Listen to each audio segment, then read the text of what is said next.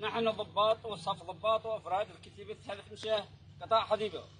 نعلن الانضمام إلى الجيش والأمن الجنوبي.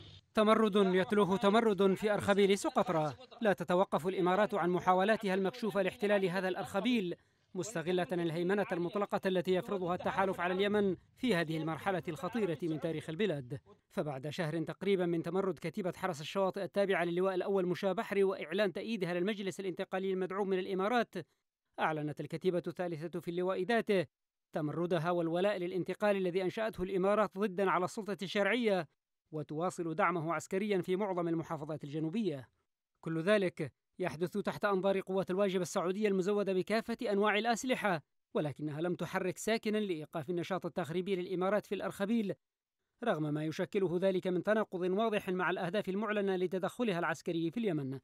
تنصرف الأنظار إلى ضابط المخابرات الإماراتي خلفان المزروع المرتبط بحكام أبو ظبي والذي ينشط منذ سنوات في سقطرى تحت مظلة الإغاثة الإنسانية. لكن دوره ينصب على تفكيك اللواء الأول مشا بحري القوة الضاربة في الأرخبيل والذي يقف إلى جانب السلطة الشرعية ويساند السلطة المحلية المناهضة للإمارات.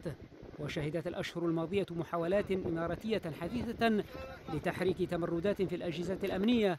كان آخرها قوات الأمن الخاصة التي أعلن قائدها في الثامن عشر من الشهر الجاري. رفضه قرار إقالته من قيادة هذه القوات. في وقت تفيد الأنباء بأن الإمارات زودته بأسلحة وسيارات لتعزيز تمرده.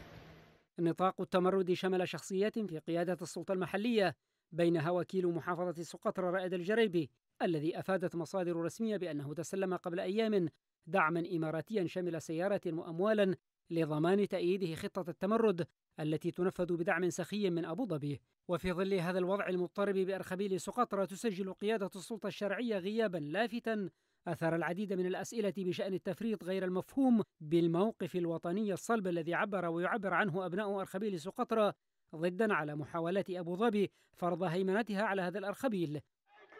تفريط تجلى في التغاضي عن وجود شخصيات في مواقع مهمة بالسلطة المحلية وفي الوحدات العسكرية والأمنية. تظهر العداء للدولة اليمنية وتتخادم مع المشروع الإماراتي بشكل واضح بالإضافة إلى إبقاء الباب مفتوحا أمام ضباط المخابرات الإماراتيين لإدارة الخراب وشراء الولاءات وتسيير الرحلات الجوية.